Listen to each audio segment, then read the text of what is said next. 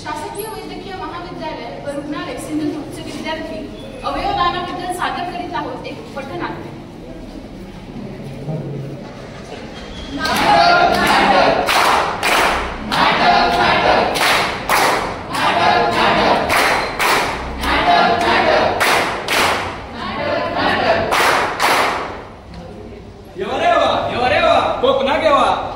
गेल्यात का नाटक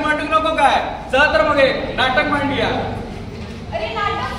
कशाचं नाटक? या लोकांना खुश करण्याचं नाटक. नाही नाही. यांना काहीतरी सांगायचंय. महत्वाचं सांगायचंय. यांना काहीतरी समजवायचं आहे. अरे काय समजू आणि काय समजू बघ तर यांच्या चेहऱ्यावर कसं प्रश्नचिन्ह दिसतंय. चला तर मग आपली गोष्ट मांडू. सुरू करून नाटक. दान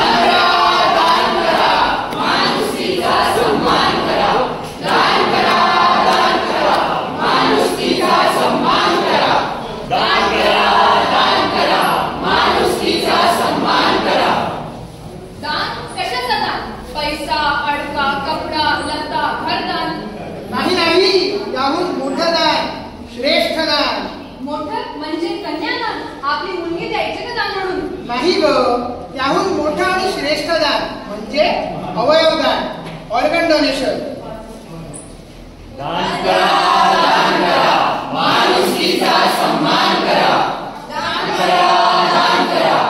अरे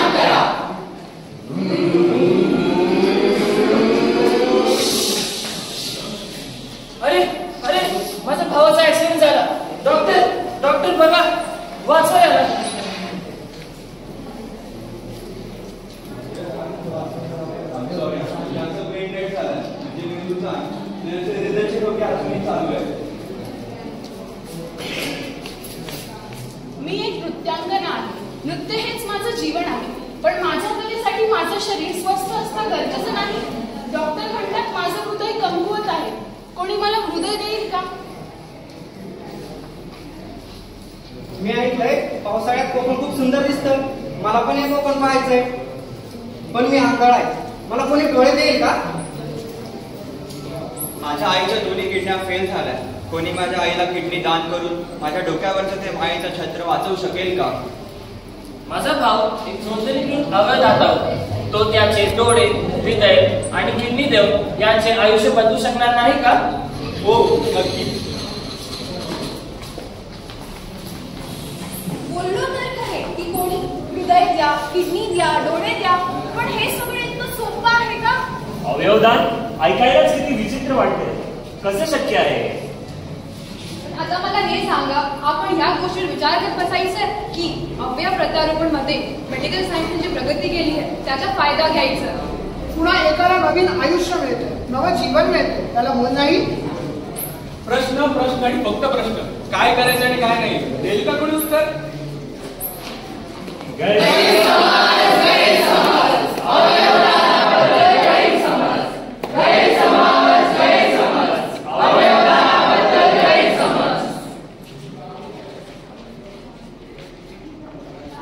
मी तर मरणारा टेकलेला म्हातारा माझ्या गावावर काय कामाचं दार ओढून घ्या.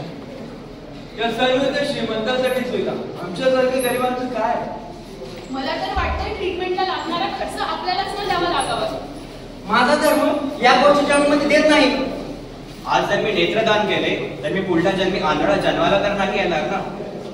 मी माझा मृत्यू पश्चात अवयवदान केलं तर मला शरीर विद्रूप वाटणार नाही का? मी तर सतत आजारी असते माझे अवयव डॉक्टरांना कळाले की मी एक ऑर्गन डोनर आहे तर ते मला वाचवण्याचा प्रयत्न देखील करणार नाही. बाप रे एवढे गैरसमज. तुम्हा सर्वांना अवयवदानाबद्दल काहीच माहीत नाही का? अरे यांना तर नाही माहितीये पण आपल्याला तरी माहिती आहे चला तर मग अवयदानाबद्दल काहीतरी जाणून घेऊया.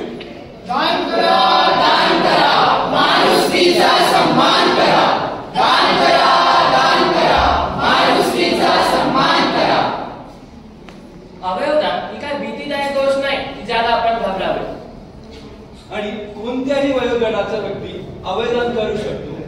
ब्रेन डेथच्या चोवीस ते अठ्ठेचाळीस तासात प्रत्यारोपण केले गेलेच पाहिजे. अवयव प्रत्यारोपण यशस्वी होण्याचा दर ऐंशी ते नव्वद टक्के आहे. एका अवयवदानाने आठ जणांचे जीव वाचू शकते तर तब्बल पन्नास लोकांचे आयुष्य बदलू शकते. आणि लिव्हर लंग किडनी हार्ट त्वचा डोळे या सर्व अवयवांचे प्रत्यारोपण होऊ शकते.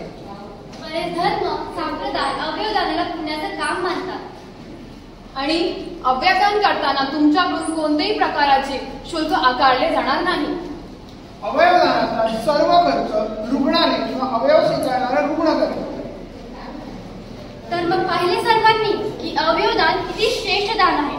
आपल्यातील किती लोक नोंदणीकृत अवयवदाता आहात नाही ना चला तर मग आपला उजवा हात हृदयावर ठेवून शपथ घेऊया सर्वांनी माझ्या मागे म्हणा मी प्रतिज्ञा करते की मी माझे अवयव मी माझे